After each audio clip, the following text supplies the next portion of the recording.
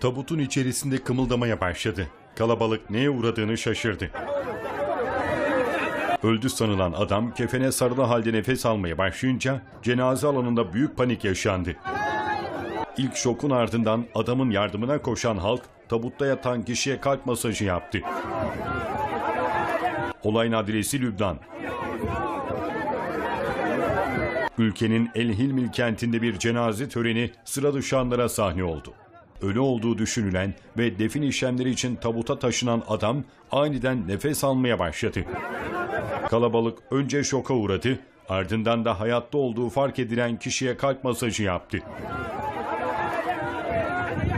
Sosyal medyada hızla yayılan görüntüler gündem olurken ölümden dönen adamın tedavi altına alındığı aktarıldı.